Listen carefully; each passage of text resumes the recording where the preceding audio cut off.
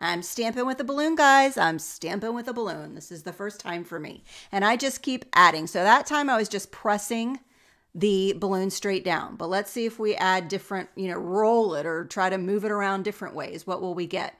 So here I do, I do a little bit of rolling. I, I, I just am blown away. Think I have a ton of background stamps, a ton.